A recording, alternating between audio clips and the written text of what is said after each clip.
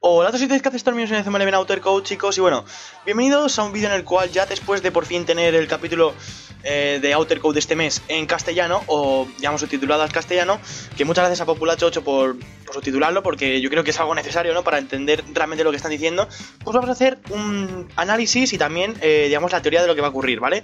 La verdad es que es más que interesante, es más que interesante lo que han dicho en este capítulo, y por eso vamos a analizarlo poco a poco. Bueno chicos, ya sabéis que esta historia 3 comienza en la Royal, o tiene lugar en la Royal Academy, en la cual, pues de primeras podemos ver a Sanford y a King, que ya lo comenté en el anterior vídeo, eh, andando, ¿vale? Lo que están diciendo es que se tardan mucho en decidir las fases preliminares y están hablando de que han enviado un nuevo director. No sé si están refiriendo a un nuevo director de, de la, digamos, de la Junta de Fútbol o de la Royal. Y bueno, llegan a la sala, que ya sabéis esta sala que están todos los de los de la Royal. Lo que me parece curioso es el, patrocinador, ¿vale? Ahora hablaremos del patrocinador porque ya sabéis que en esta serie hay patrocinadores y me parece curioso, ¿vale? Y bueno, llegan a esta sala y se encuentran con la Royal, con los compañeros de la Royal. Y bueno, después aparece Caleb Stonewall en esa misma sala y se confirma que va a ser jugador de la Royal Academy, ¿vale? Se presenta formalmente y tal. Y bueno, tiene su personalidad de siempre, la verdad es que eso mola, que no cambie, pero tiene un diseño mucho mejor, ya sabéis cómo es esto. También se confirma que David Sanford es el capitán, es decir, que no está Jude. Y bueno, también creo que está confirmado que Jude no va a estar en la Royal, no sabemos dónde va a estar, pero ya se verá dónde está. O sea, es que no se sabe, pero bueno. Y bueno, después aparece Ray Dark, que yo creo que es un personaje que está muy infravalorado y que a mí me encanta como personaje porque es el que realmente le da ese toque a Inazuma. Y bueno, es que incluso el propio Caleb se asusta al ver a Raydark, ¿no? Es como que impone, impone mucho Raydark y, y todo el equipo se queda como, Dios, este tío que hace aquí. Y bueno, en este momento es cuando ya se confirma que Caleb, como os digo, va a ser jugador de la Royal y también tiene, digamos, un plan para ganar el Full Frontier de este año, ¿vale? También se confirma que va a ser el entrenador de la Royal y por lo tanto, pues lógicamente ha vuelto después de lo que ocurrió con el Zeus, supuestamente, o sea que es un poco raro. También hablan de una especie de programa Ares, que eso tiene que ver con el título de la saga y yo creo que va a tener mucha importancia porque es que daos cuenta de que Ray Dark va a tener mucho que ver. También nos podemos fijar en que el escudo de la Royal Academy no es el escudo de la Royal que teníamos en la primera trilogía, en la trilogía original, sino que tenemos el escudo de Inazuma Eleven Go, de la Royal de Inazuma Eleven Go. Y esto, atención porque, no sé, es un detalle que puede ser interesante. Bueno, parece que el equipo no se cree muy bien esto de que sea el nuevo entrenador porque después de lo que pasó con el Zeus y tal, pues es lógico que no, no se fíen nada, ¿no? Pero la verdad es que Raidar yo creo que tiene un plan, al menos eso da a entender en el capítulo que tiene un plan para ganar el Full Frontier y... Y bueno, de momento les dice que no pueden ganar a la Seishou, que es la academia de esta Seishou, que es la del Ryosuke, que esas que dicen que no la pueden ganar, ¿no? Que dice Raidar que no tienen el nivel suficiente para ganarles y, y, que tiene un plan para ganar el Full Frontier, entonces tienen que seguir sus instrucciones. Efectivamente, el objetivo de Raidar es ganar el Full Frontier y para eso ha llamado o ha convocado a su equipo a Nathan. Ya sabéis que Nathan está en la Royal y madre mía, eso sí que es épico. Eso sí que es épico y la verdad es que se sorprende mucho, ¿no? Los, los jugadores se sorprenden mucho de la Royal.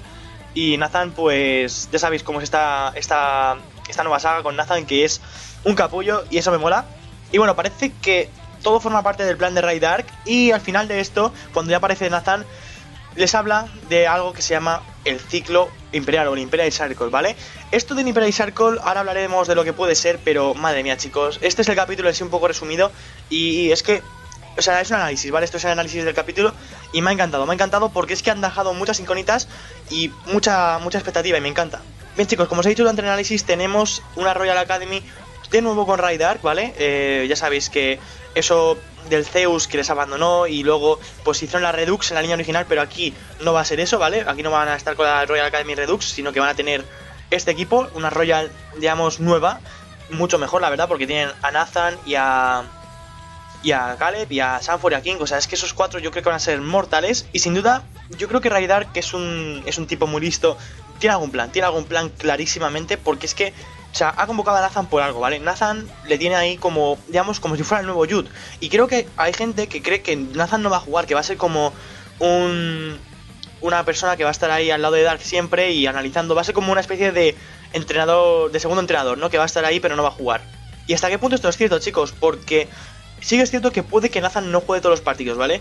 Pero está claro que van a jugar, que va a jugar algún partido porque no van a desperdiciar, o sea, es decir, los creadores de la serie Level 5 o quien esté detrás de todo esto, no va a desperdiciar la oportunidad de poner a Nathan en la Royal con Caleb y con Sanford y con Kim, porque es que no lo van a hacer. Eso es lo primero. Y lo segundo, si nos fijamos en las palabras de Ray Dark, yo creo que tiene un plan. Y ese plan es, entre otras cosas, tener a Nathan como unas en la manga. Es decir, si él ve que hay problemas para ganar un partido, probablemente contra Seiso lo van a pasar mal, si se cruzan, claro. Es que, o sea, lo va a sacar, va a sacar a Nathan porque Nathan es un buen jugador, ¿no? O sea, es un, digamos, yo creo que va a ser el as en la manga de, de Raidar para ganar los partidos. En el caso de que vea que no puede ganar, lo va a sacar y seguramente también lo saque contra el Raymond y contra la Seiso. Así que bueno, la verdad es que eso por un lado. Después nos tenemos que fijar en el escudo de la Royal Academy, que como he dicho, es el de Inazuma Eleven Go, el escudo de la Royal Academy de Inazuma Eleven Go. Y eso es como, a ver, ¿qué está pasando aquí? Es que Raidar, ya sé que dije que es posible que la línea temporal de Ares se creará cuando viajara Canon, a, cuando viajó Canon a este momento y los ogros, pero es que yo creo que va a ser Dark. Yo creo que va a ser Ray Dark el que lo ha liado tanto, ¿vale? Sigo pensando que es Canon el que lo crea porque es mucha coincidencia y es la única pista que tenemos, pero yo creo que Dark está haciendo alguna liada por ahí en el tiempo y, y no sé, la verdad es que con Galaxy se quedó un poco la iconita de que fue de él y no sé qué, no sé, o sea, es que realmente Ray Dark, como os digo, es un personaje que a mí me parece muy importante, que tiene muy poca importancia, o sea, tiene muy poco muy poco, se le valora poco para lo importante que es para Inazuma Eleven, porque es que ese es el que es el que da ese toque de, de que es Inazuma Eleven, de que hay algo curioso ahí detrás, algo, no sé, no sé si me explico. Otra cosa curiosa que he visto en el capítulo es el gesto que hacen los jugadores de la Royal Academy cuando, digamos, hacen el saludo formal o el saludo, no sé, cuando entra alguien importante, pues hacen ese saludo. Cuando entran, por ejemplo, Sanford y King, que bueno, Sanford al ser el capitán, pues tiene que hacer como esa reverencia, ¿vale?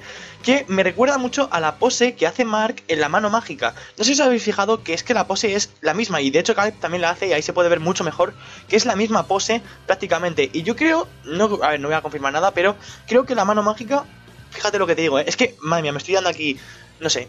Mira, da igual, lo voy a decir. Yo creo que King va a tener una mano mágica, pero diferente. Yo creo que va a ser una mano mágica rediseñada o con más potencia o otra cosa. Para decir esto me baso en que la Royal Academy fue destrozada por el Zeus, que bueno, en el manga especialmente se podía ver como el propio Byron Love destroza a King, destroza a King, ¿vale? Con la sabiduría divina y bueno, en el manga no existe la mano mágica, pero yo creo que va a tener que ver porque justamente esa relación entre el Zeus, la Royal y la mano mágica puede ser interesante, ¿vale? No lo perdamos de vista, a lo mejor simplemente se queda en un saludo, ¿vale? En un saludo, en una reverencia así, en plan que se parecen mucho, pero es que se parecen muchísimo. Después, el patrocinador de la Royal se llama Kido. Y bueno, Kido, con U al final, es el personaje que nosotros conocemos como Jude. Entonces, yo no sé si es que Jude va a tener algo que ver con la Royal o va a ser el, el patrocinador de la Royal, ¿vale? El que, digamos, proporciona dinero a la Royal.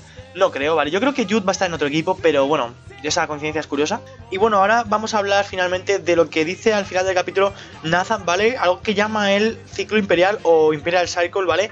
Esto pueden ser varias cosas, ¿vale? Puede ser una super técnica, que yo creo que es lo menos probable, pero podría ser que fuera una super técnica combinada. Puede que sea una formación, es decir, una formación de, bueno, de fútbol, ya me entendéis. Digamos que podría también ser una super táctica, ¿vale? Ya sabéis que las super tácticas surgieron en Inazuma Eleven 3, es decir, que surgieron en el Mundial y bueno, aquí en principio no había super tácticas, pero a lo mejor, yo que sé, inventan la primera super táctica de la historia y, y no sé, puede que sea una super táctica. O puede que se trate de un sistema de entrenamiento que ha preparado Nathan con Raidar para el equipo de la Royal para prepararse para el Fútbol Frontier.